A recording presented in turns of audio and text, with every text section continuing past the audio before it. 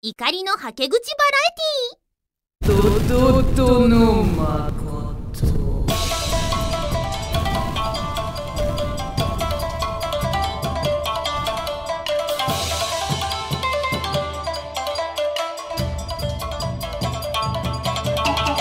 怒りエピソード。東山誠さんは某コンビニ店の常連客。利用時間は主に深夜最近700円くじの商品引換券を5枚集めた。700円くじというのは700円以上買い物をするごとに1枚くじが引け当たりが出ればお菓子やジュースなど店の人気商品がその場でもらえるコンビニの人気企画だ。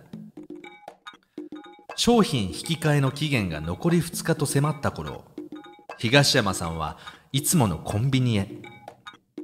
忙しい店員さんを気遣い対象商品を自分で探していたところ商品の一つがどうしても見つからない。いやその商品の棚自体がない。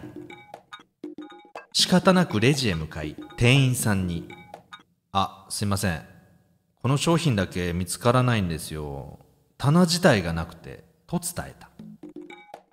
それを聞いた店員さんが放った一言がこちら。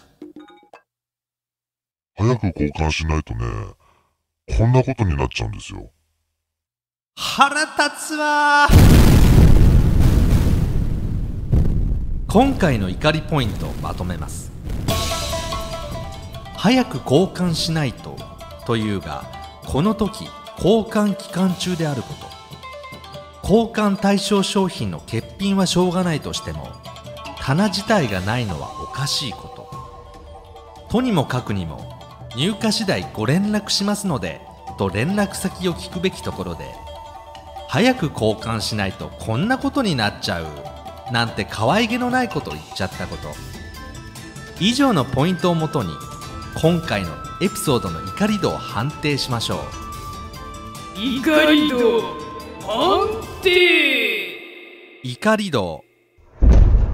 2ドドこれはあかんまああのなんで2にしたかっていうと初回なんで123の判断基準をあの最初にね作らなきゃいけないのでこれを3にしてもねあの分かりにくくなるしということで2にしました、はい、最後に東山さんからその店員さんへ一言。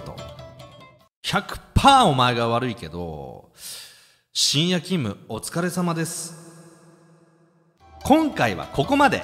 さようなら。怒りのはけ口バラエティードドドの誠では皆様からの怒りエピソードを募集しています。ハンドルネームにあなたの怒りエピソードを添えて動画の説明文にあるメールフォームからお送りください。採用された場合は当番組で紹介させていただきます。